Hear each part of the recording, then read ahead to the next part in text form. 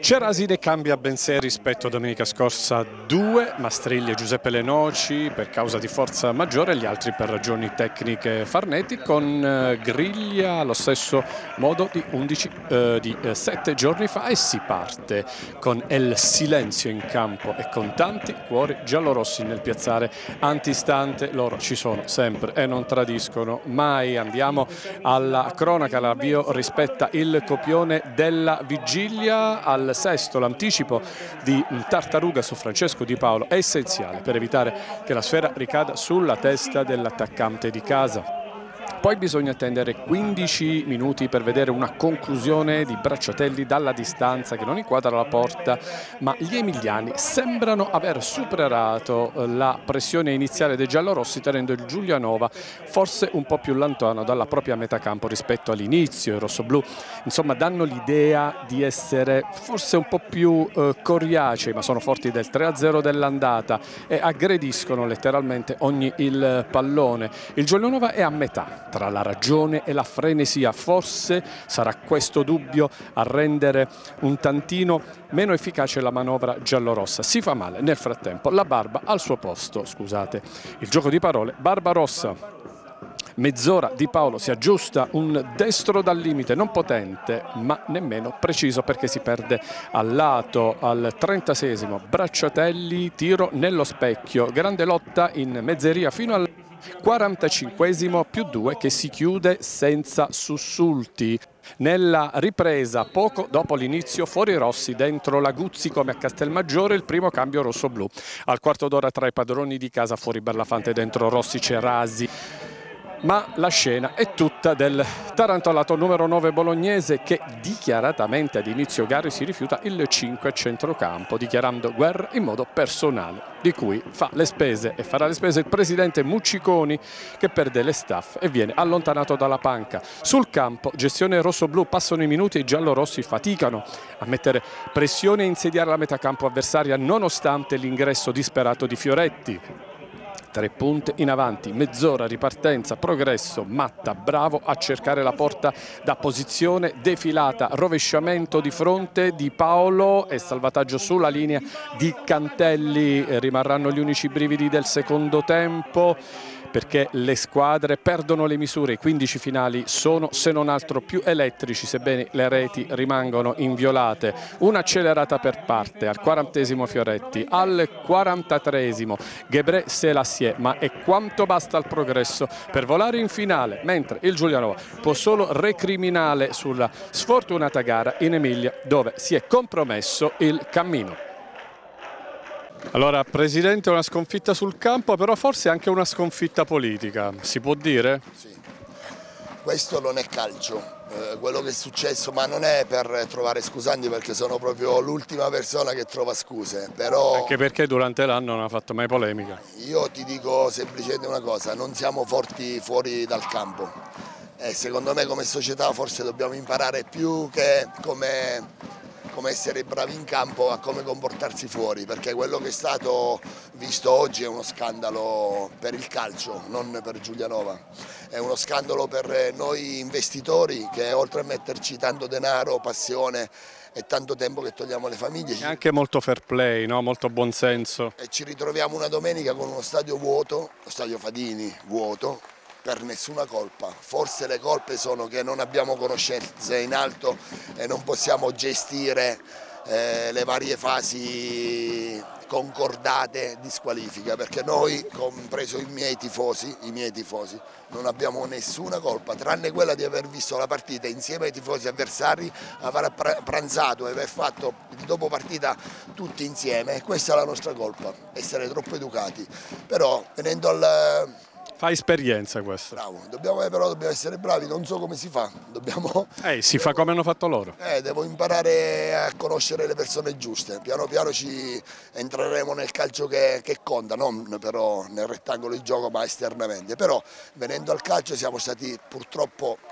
non bravi domenica l'altra perché... Si è perso lì il, la possibilità di passare il turno. Perché loro con tre tiri hanno fatto tre gol, con quattro tiri hanno fatto tre gol e noi purtroppo non siamo stati intelligenti.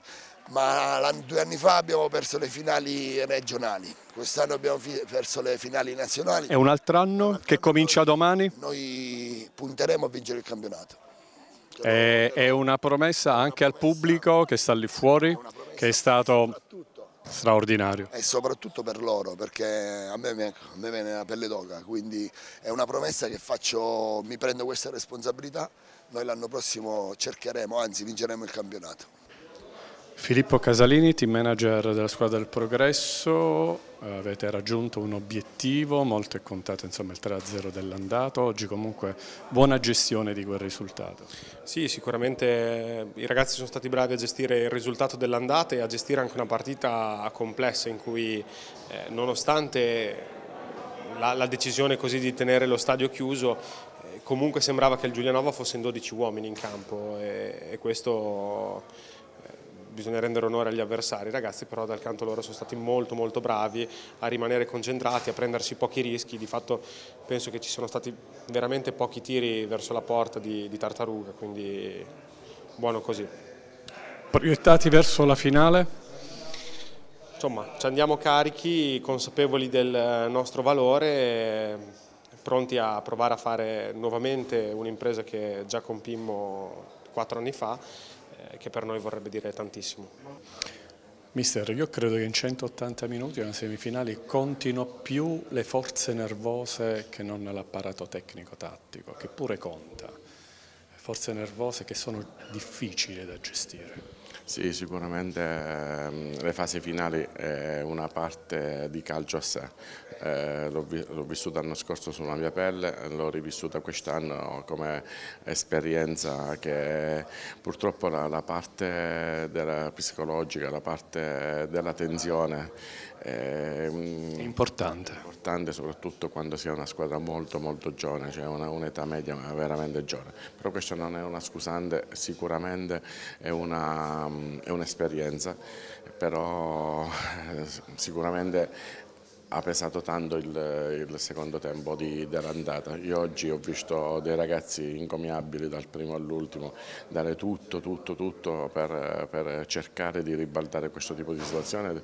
Hanno dato tutto sul piano emotivo, nervoso, tecnico, perché volevano tutti quanti insieme allungare questa, questa storia, soprattutto quest'anno, e pensavamo di arrivare fino in fondo, però accettiamo malgrado questo quest esito. Mister, due anni, due finali consecutivi, eh, possiamo dire che il Giulianova e Cerasi si preparano per il terzo anno? Questo dobbiamo vedere perché io adesso a caldo non, non me la sento di, di, dire certe cose così perché eh, voglio, voglio riflettere. Ha ricevuto l'applauso della curva, ha ricevuto l'applauso dello spogliatoio, grande commozione, questo conta. Sì, la società ha un ottimo, cioè abbiamo un ottimo rapporto e un'ottima stima, quindi i componenti eh, sulla carta ci sono tutti, però eh, ci sono altri componenti pure miei familiari che eh, voglio valutare tutto perché dire, dire, di sì o dire di no in questo momento non me la sento perché devo riflettere su tutto quello che devo fare. È normale che questo ambiente, questa società che mi ha dato bisogna dire questa cosa, mi ha dato una possibilità che magari solo loro mi potevano dare perché io fino a due anni fa non ho allenato nessuno, solo settore giovanile, quindi trovare una società che ti mette a disposizione, a disposizione tutto e ti fa fare tutto, eh, è vero che abbiamo fatto due belle annate, però è vero che io devo ringraziare la società in primis perché non è da tutti darmi questo tipo di fiducia e io per quello che ho in mente eh, avevo bisogno di questo.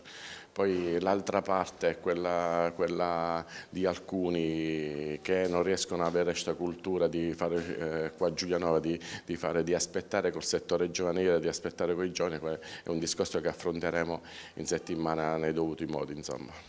Mister, se si sente di dire qualcosa diciamo, a termine di, questo, di, questa avventura, di questa seconda avventura, come ridefinirebbe insomma, in una frase questo campionato?